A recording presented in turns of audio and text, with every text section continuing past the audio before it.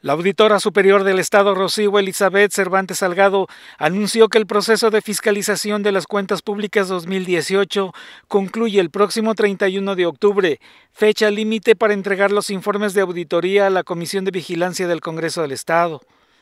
Una vez entregados los documentos, la comisión tiene un plazo de 15 días para analizarlos y remitirlos al Pleno del Poder Legislativo el proceso de fiscalización ya concluye el 31 de octubre, que es cuando se tiene, tenemos el límite para entregar los informes a la Comisión de Vigilancia.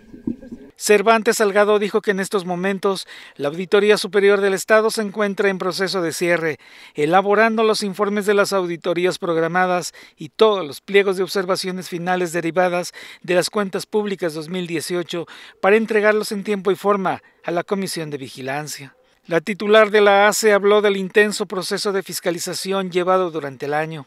Dijo que en todo momento se estuvo al pendiente de los procesos. Comentó que al mismo tiempo se le está dando seguimiento a los pendientes de los ejercicios 2016 y 2017 que aún no han concluido.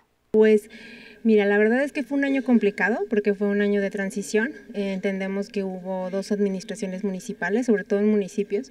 Entonces ahí a veces es un poquito de descontrol en lo que termina una, una administración y empieza otra. Entonces la verdad esperamos que sí haya habido, va a haber cambios. A lo mejor un municipio que iba bien ahorita va mal o al revés, ¿no?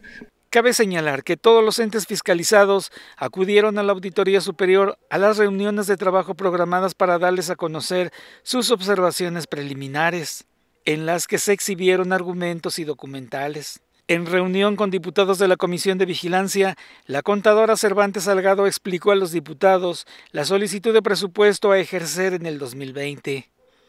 El proyecto no incluye situaciones que se pudieran considerar como extraordinarias, ya que el aumento solicitado se basa únicamente en el incremento salarial autorizado recientemente. Ahorita son creo que 280 y tantos millones de pesos.